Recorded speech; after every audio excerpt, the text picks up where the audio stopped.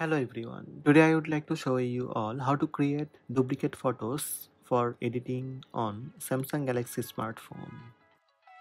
Let's have a look. This is Samsung Galaxy S23 Ultra. First open Gallery app on your Samsung Galaxy smartphone. From recent, select the photo that you would like to duplicate. Tap three dots on top right. Then tap copy to album.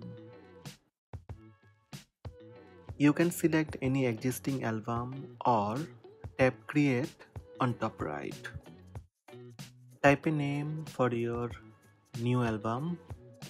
Then tap create. New album and duplicate photo created.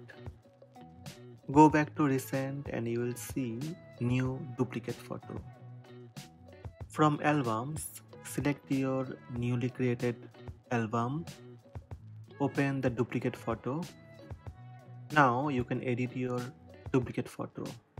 When editing done, tap save button on top right. Now go back to recent and you will see your original photo and duplicate edited photo. So these are the steps to create duplicate photos for editing on Samsung Galaxy smartphone.